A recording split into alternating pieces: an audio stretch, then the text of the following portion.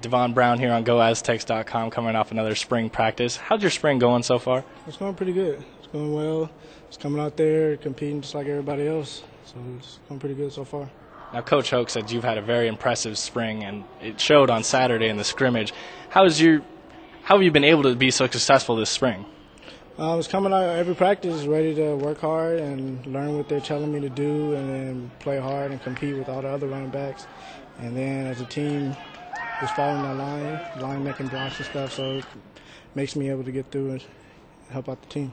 Now, last season you only had a couple carries and played in only a couple games. Is there almost a chip on your shoulder to, to get better and play a lot more this season? Um, I'm just doing whatever's going to help out the team. So whatever they feel is best for me, that's the good, as long as it's helping the team out. Now, Coach Hoke says the running back position is one of the most competitive with Brandon Sullivan and Tia Henderson and yourself. Where do you see this competition playing out and ending up?